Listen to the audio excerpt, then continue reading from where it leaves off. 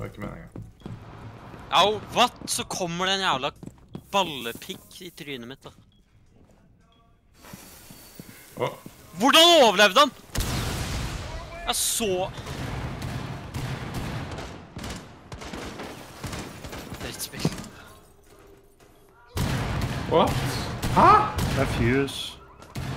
Fuse løp gjennom chargen min og hadde en ett HP, og det så ut som han døde.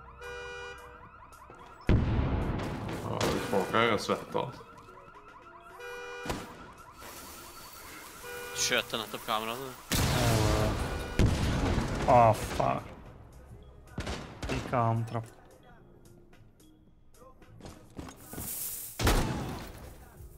Det er en kiosken. Kameraet mitt er der, da.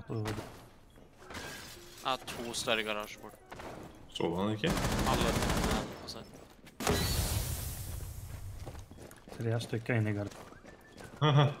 Veit ikke at du er der?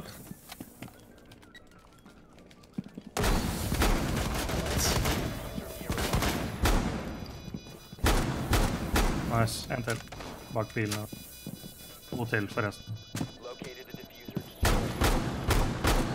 Op 4 last Det er en oppe. Han, han er bak. Er han ikke bak bilen her? Nei, jeg hørte den oppe bak. Rødlegg.